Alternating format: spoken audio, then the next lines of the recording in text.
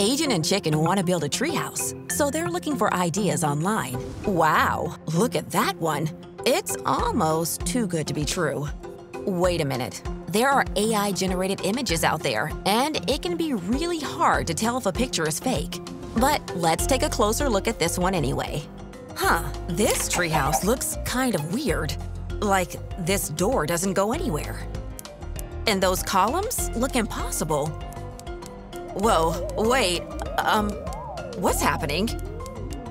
I will say that is a beautiful balcony, but, um, chicken, I think you're upside down. Look out!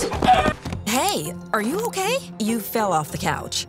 Oh, come on, you two. Don't be disappointed. That image wasn't real, but AI can still help you.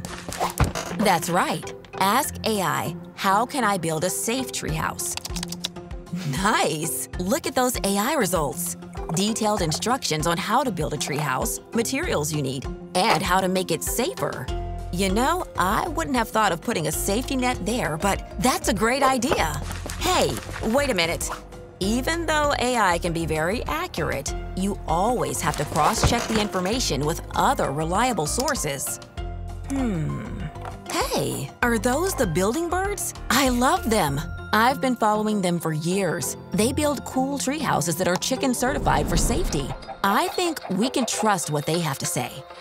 Look at them go! You know, it looks a lot like the treehouse the AI described, but oh yeah, those steps are better than a ladder. And having a guardrail there makes a lot of sense. So I think with the information from AI and the reference video, you're ready to start building. Good luck! You two have outdone yourselves. That looks amazing. Hmm, what are you thinking now? Oh, you don't think this treehouse looks as cool as the first one? Well, maybe not, but this one is something you could actually build, and it has that awesome safety net. You're right. Now that you've built a real treehouse, you can use the AI image as inspiration for decorating. It will still be safe, and now it will look extra fun too. Great job!